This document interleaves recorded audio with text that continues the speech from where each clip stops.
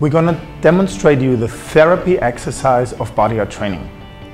Therapy exercise is a main part of Bodyart training which focus on ankles, knees, hips, shoulders and important the spine.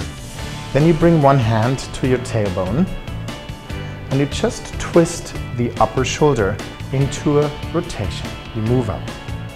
The chin comes to the chest and the thoracic and the back muscle moves to the front now. So you mobilize the whole spine.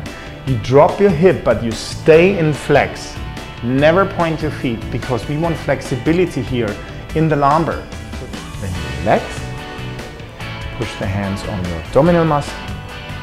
You can be here for a bit and prepare yourself for energy phase number five, which is water.